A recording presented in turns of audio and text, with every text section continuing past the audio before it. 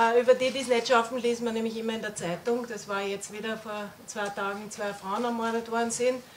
Genau, und die Frauen leben mit ihren Kindern bei uns und wir versuchen sie so gut wie möglich zu unterstützen, dass sie einfach in ein selbstständiges Leben kommen und raus aus diesem äh, schrecklichen Zuhause und einfach ein normales Leben, vielleicht wieder mit einem netten Partner, mit dem sie einfach happy sind und die Kinder, die ohne Gewalt aufwachsen, das ist unser großes Ziel. Genau. Was viele Leute wissen will, wie schaut es dann im Detail aus? Wo geht das Geld hin? Wie, was macht man damit? Was passiert damit?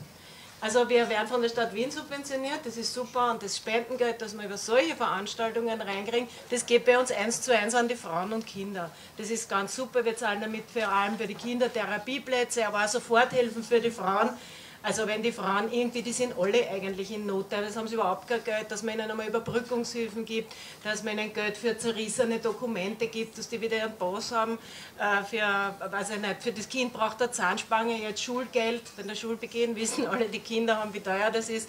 Also es gibt so viele Gründe, wo wir dann einfach auch den Frauen helfen können mit Rechtsanwaltskosten und so weiter. Die kosten übrigens wahnsinnig viel und ohne Rechtsanwalt ist es wirklich ganz, ganz schwierig, zu seinem Recht zu kommen. Also das ist auch ein ganz wichtiger Teil, wofür wir das Geld verwenden.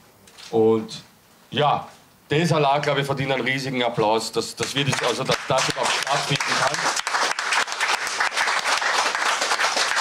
kann. Und sonst gibt es nicht viel zu sagen. Also, also wir hoffen auf keine Verletzten, zumindest keine Schwerverletzten wie vor zwei Jahren. Ähm, und wer war der schwer verletzt? Der schwer verletzteste war der Georgi, oder? Wo ist du hast dir den Daumen ausgebrochen. Na gut, das ist.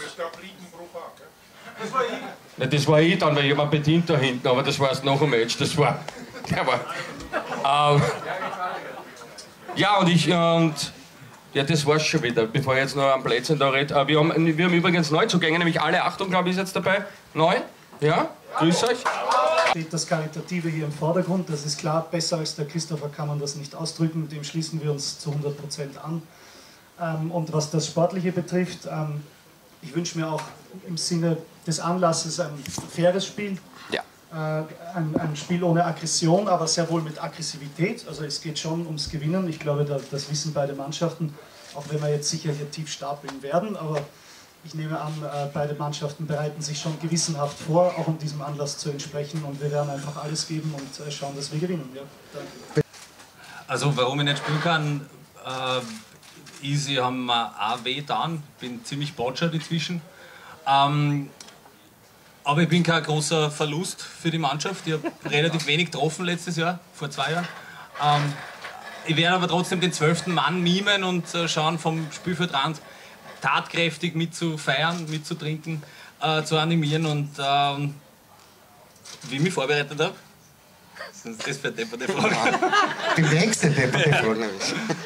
Natürlich mit einem kühlen Blonden, wie, wie äh, sonst auch. Und, äh, aber ich freue mich trotzdem und es wird sicher ein schöner Sonntagnachmittag.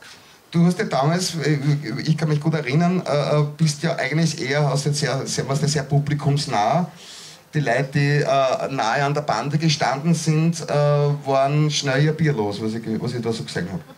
Nein, ich bin das gewohnt vom äh, SC Simmering, da ist man das gewohnt als Spieler, äh, dass die, also als Zuschauer, dass die Spieler vorbeirennen und schnell mal einen Schluck nehmen. Das habe ich mir da angeschaut. Und äh, diesen, dieses Brauchtum hierher in den 12. Wiener Gemeindebezirk mitgebracht. Und ähm, ja, die Leute haben wir gewusst, ich habe es äh, man kann sich ja nicht am Spielfeldrand hinstellen mit einem Bier und nicht glauben, dass ich hingehe und das flapp. ja, also ich werde es dann sehen, wer dann aller da ist.